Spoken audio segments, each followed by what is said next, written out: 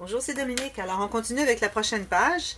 Alors, ici, on a cette page ici. On a un mini euh, rabat ici avec un aimant pour garder le, grand rabat fermé. Et on a le grand rabat avec le pop-up à l'intérieur. Ici, on va mater ces deux côtés. Ensuite, on va poser le pop-up. Et puis, on va peut-être mettre des petites cartes. Si vous avez des petites cartes, mettre des espaces pour euh, mettre des choses en serre. Ou bien, vous pouvez faire un grand mat euh, ou tout simplement laisser libre comme ça et mettre des photos comme vous voulez. Alors, voilà, je m'y suis reprise à quelques reprises et puis ça n'a pas fonctionné. Alors si vous voyez du déchirage, ne vous en occupez pas. Alors premièrement, on va faire le rabat. Alors on mesure la largeur de la page. Moi ici j'ai 17 cm, vous vous avez 17.2. Ensuite on va mesurer euh, peut-être pas tout à fait jusqu'en bas. Alors on va laisser peut-être un 3 mm et on fait une marque là où est-ce que notre page euh, termine. Si vous avez fait si vous avez arrondi votre coin ici, alors votre page va terminer un petit peu avant le, haut de la page parce qu'on veut comme libérer le, petit rond ici, le petit coin arrondi. Alors on va aller un petit peu plus haut. Alors on va aller ici et puis on doit se mettre une couture, alors euh, environ 1 cm. Ok, on va couper ça. Alors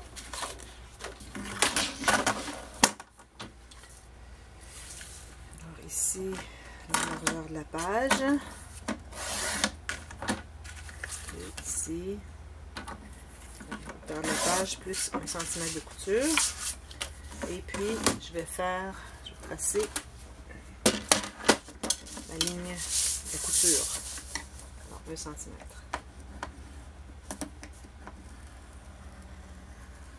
faire ici parce que c'est plus proche. ceci. Et ce que je fais aussi, c'est vers l'intérieur, vers la couture, je fais une deuxième ligne pliure. C'est pour aider à plier le papier. Alors, tout près, tout près, à environ même pas un millimètre. OK? Ensuite, je vais effacer ma petite marque. Ici, on peut... C'est pas nécessaire de biseauter. Oui, on va biseauter à partir de la deuxième ligne qu'on a fait. Alors, celle la plus vers la couture. Et même chose ici. OK? Alors, ça, c'est notre page. Et puis ici, moi, je vais faire arrondir les coins.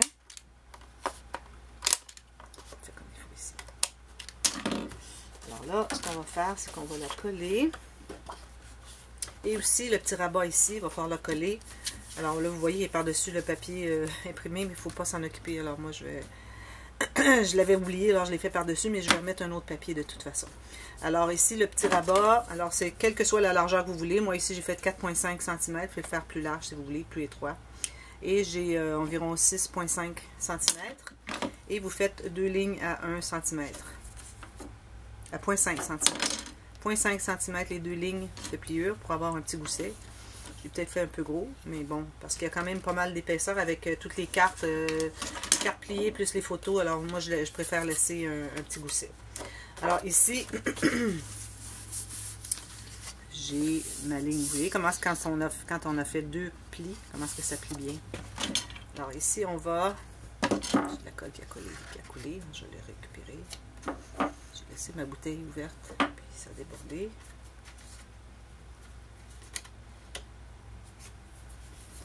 Alors, je vais coller ça ici, environ à 3 mm. Là, pour libérer votre... Euh, si j'ai trop large.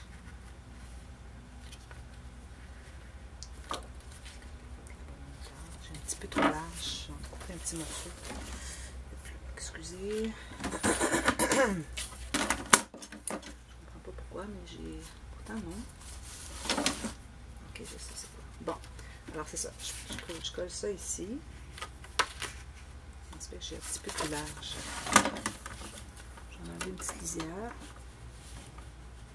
Je sais pas pourquoi, mais ma page est un peu plus large.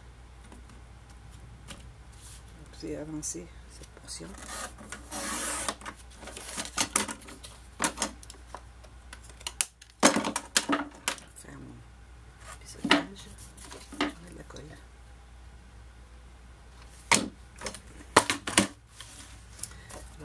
Je vais coller sur ma page, libérant le, coin arrondi.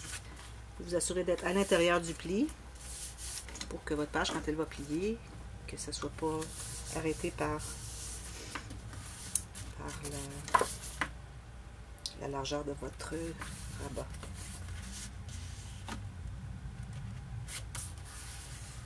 OK, voilà. Ensuite, on va mater. Alors, vous posez votre petit rabat ici. Les aimants, vous pouvez les mettre tout de suite les deux ici si vous voulez. Et puis, ensuite, on mate les deux endroits ici. Alors, lui, je vais le laisser comme ça. Je crois. Je vais voir tout à l'heure s'il faut que je le laisse. Alors, je dois me trouver une autre. Que vous voyez, j'ai dû déchirer ici parce que j'avais fait... Le mécanisme que j'avais fait le premier ne fonctionnait pas parce que j'avais fait un gousset au rabat ici. Je me suis aperçu qu'il ne fallait pas faire ça. Alors c'est pour ça que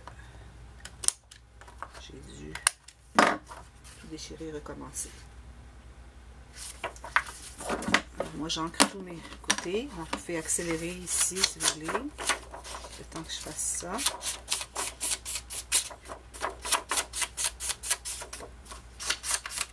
J'aimerais bien avoir le système de caméra où je peux accélérer, où est-ce qu'il y a des endroits où est-ce qu'il y a des temps longs.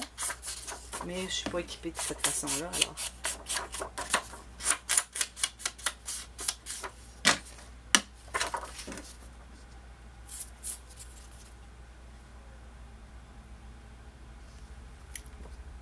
Ensuite, on va couper nos morceaux pour le mécanisme et les cartes du pop-up.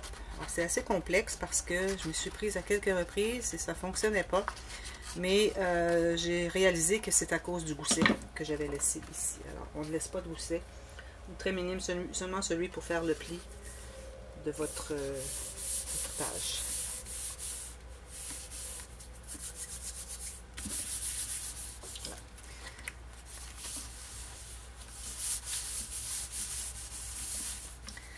Bon, maintenant le mécanisme.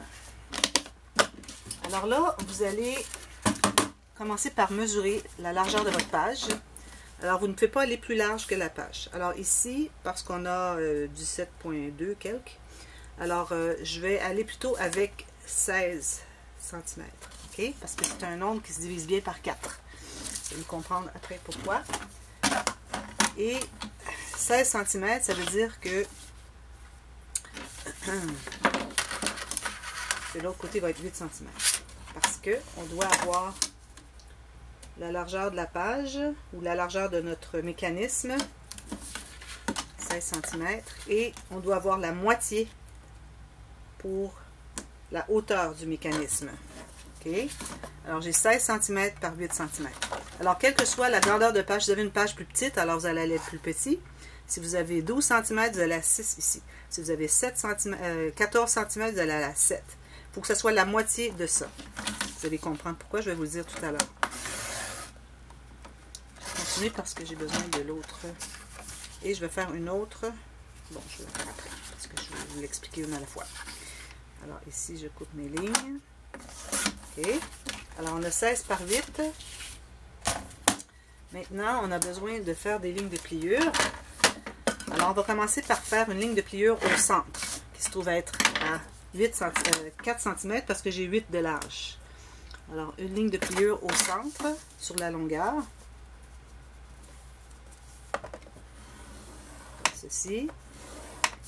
Ensuite, on divise en 4, c'est-à-dire on fait 3 lignes pour avoir 4 portions. Alors, moi, ici, ça va être toutes des 4 cm. Finalement, ça, va devenir toutes des carrés. Les carrés, on en a deux ici. On va avoir 4 ici. Alors 4 par 4, tous les carrés. 4, 8, 12. Aussi, j'ai une petite question pour vous. Vous répondrez, celles qui le veulent, ceux qui le veulent. Votre planche à tracer ici, euh, les lignes de pliure, j'aimerais savoir si elle est en pouces ou en centimètres. Alors ici, on se trouve avoir tous des carrés de, de 4 par 4. OK? Ça, c'est bien important que ce soit tous des carrés. Ensuite, on doit tracer une autre ligne de, pliure en diagonale à partir euh, de la ligne ici jusqu'à celle-ci et de celle-ci à celle-ci. Alors, ce que je fais, je me trouve un repère. Alors, ici, 6.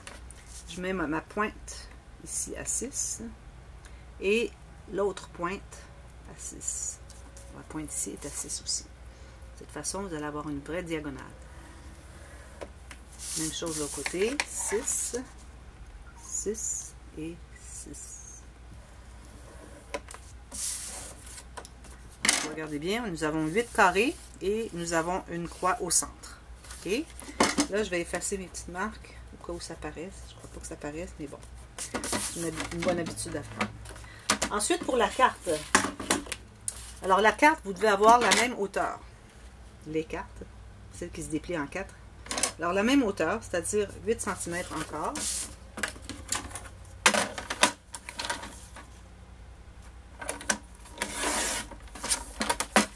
Et ensuite, ici, vous devez mesurer à partir du centre, la ligne du centre. Alors ici, on a 8 cm. Alors, on ne devrait pas aller plus qu'à la moitié de la dernière portion, ce qui serait 2 cm de plus. Alors, on doit s'en tenir à l'intérieur de ça. Alors, je pourrais aller à 10 cm. Mais euh, si on regarde le mécanisme ici,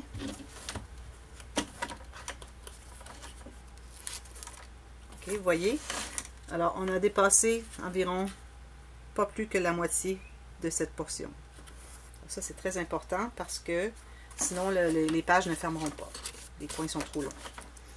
Alors, on doit vraiment ne pas dépasser ça. Alors, je peux aller, ici j'ai 8, alors je peux aller à 10 maximum, fois 2, c'est-à-dire 20.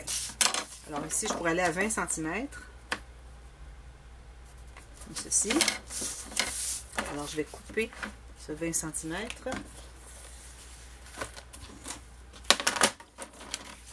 Si vous voulez aller un petit peu plus, euh, plus court, c'est correct. Mais vous n'allez vraiment pas plus long, c'est le maximum. Ensuite, on va faire des lignes de pliure.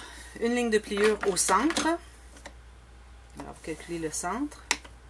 Ensuite, encore au centre. Et encore au centre.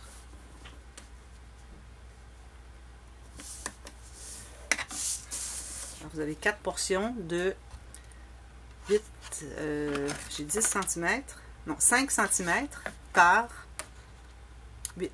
Alors, on a 20 par 8, ça fait 5 par 8 chaque portion. 5 par 8, 5 par 8. OK. Tout ça, c'est terminé. Alors maintenant, ce qu'on doit faire, c'est qu'on doit plier euh, notre mécanisme. OK. Où est-ce qu'il est mon mécanisme? Ça, c'est mon mécanisme. Alors, on va plier au centre, comme ceci. On va plier les coins, comme ceci. Euh, celui du centre, oui, on va le plier aussi. Et on va plier les deux diagonales, comme ceci et comme ceci. Alors, j'ai plié juste un sens, c'est pas nécessaire de plier dans les deux sens. Maintenant, on doit avoir les pointes de ces, ces deux côtés-ci, les pointes doivent entrer à l'intérieur, comme ceci et comme ceci. Et quand vous pliez le tout, tout est bien égal. Ça fonctionne très bien. Ici, si on a un petit peu qui dépasse, ça ne dérange pas. Alors, on a notre mécanisme. C'est important d'avoir l'ouverture ici. OK? Pour avoir la partie toute droite, pleine, comme ça. Ensuite, ce qu'on va faire, c'est qu'on va ouvrir notre mécanisme. On va trouver le centre. On a le centre ici de notre carte. On peut les plier d'ailleurs, comme ceci, comme ceci, comme ceci. On les plie juste une fois, on ne plie pas le côté. Vous devez avoir la, montagne qui monte au centre. Là, vous allez trouver le centre ici. Vous allez la placer au centre. Ensuite, vous pliez votre carte et vous soyez bien aligné en haut et en bas. Et là, à la base du petit carré ici, vous allez mettre la colle. Vous allez fermer la petite carte. Assurez-vous que c'est bien droit, comme ceci. Et on fait la même chose ici, on plie la petite carte comme ceci, mais on met la colle en haut. Alors l'autre côté on avait mis en bas, là on met en haut et on plie notre carte. Voilà. Alors ça, notre mécanisme et notre carte est faite. On va laisser prendre le temps de sécher un peu. Alors tout se ferme comme ceci.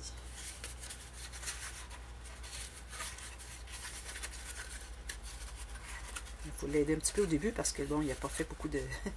On n'a pas fait l'exercice le, encore. On doit se fermer.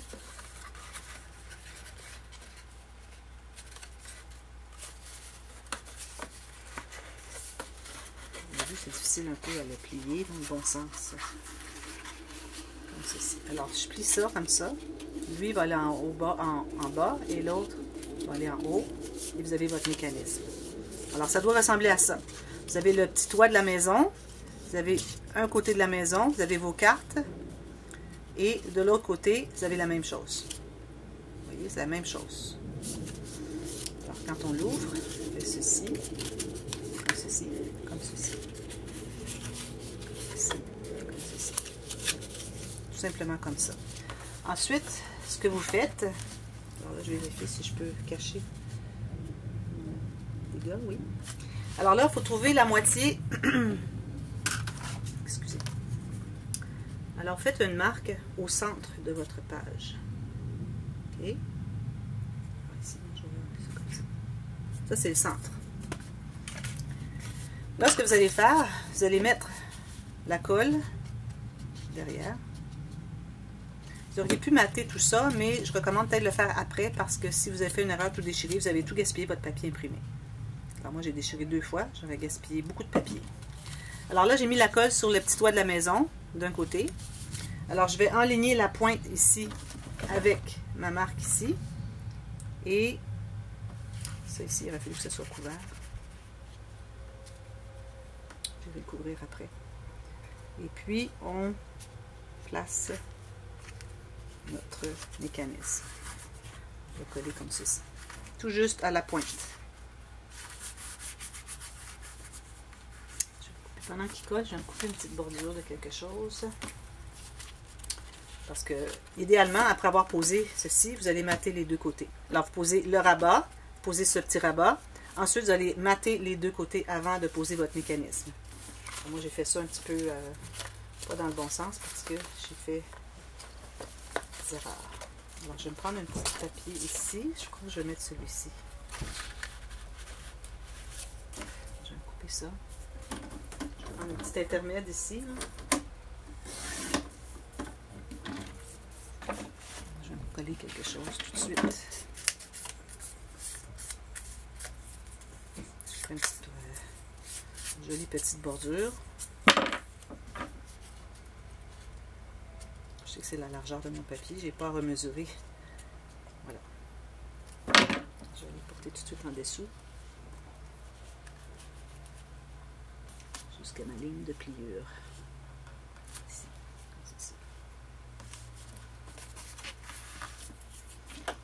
Je vais prendre un petit peu de colle pour aller le reporter sous la pointe. C'est réglé. Alors ça, ça devrait être bien collé. Ensuite, ce que vous allez faire, vous allez mettre la colle sur l'autre petit toit de maison seulement sur la pointe, toute, cette section. Et là, vous allez plier votre page bien droite. Et vous attendez que ça sèche. Alors moi, ce que j'avais fait, ce qui avait fait l'erreur, je vais vous en parler pour pas que vous fassiez la même erreur, c'est que j'avais laissé un gousset ici d'environ 3 mm. Mais ça ne fonctionne pas parce que ça vous, ça vous laisse s'étirer, alors ça déchirait tout. C'est ce que j'avais fait ici aussi, ça déchirait un petit peu. Mais je m'étais dit, bon, c'est limite correct. Mais ici, ça ne fonctionnait pas. Alors, idéalement, on ne laisse pas de gousset dans notre rabat euh, qui est par-dessus tout ça. Alors là, si j'ouvre la page, vous voyez, ça fonctionne très bien.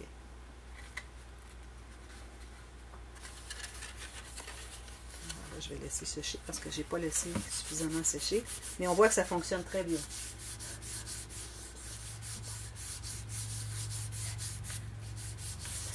Alors, une fois que vous avez terminé ça, vous pouvez faire ici. Alors, moi, ce que je vais faire, c'est que je vais... Premièrement, on doit mettre nos aimants ici. Alors, une fois qu'on a mis l'aimant, on appuie l'autre ici. Et peut-être qu'il resterait de l'espace, parce qu'on n'a pas si épais que ça.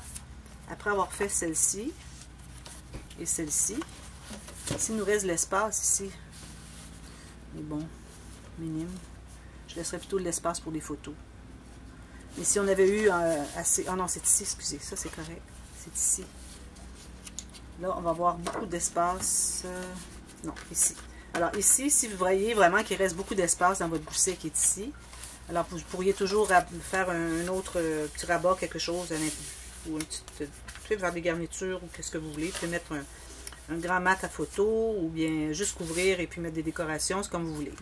Mais moi, je pense que je vais mettre deux mats à photo, un peu comme ceci. Ça irait bien avec. Ça se continue.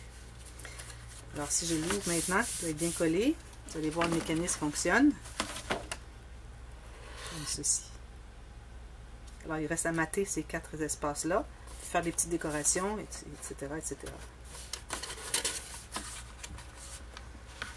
Voilà. Alors, vous assurez qu'ici, il soit bien collé parce qu'il a tendance à vouloir se décoller un peu à la base, ici. Alors, peut-être que j'ai pas mis suffisamment de colle. Vous voyez, il veut se décoller un petit peu, mais vraiment minime. Même que je dirais que c'est juste parce que j'ai pas mis suffisamment de colle. Alors, il faut mettre la colle vraiment jusqu'au bord. Je vais ajouter un petit peu juste pour vous montrer que c'est important qu'il y en ait là aussi. Alors, vous voyez dessous ici, ma petite pointe. J'ai pas mis suffisamment de colle sur la pointe. Alors, je vais en ajouter un peu. Et puis, je vais appuyer dessus de cette façon.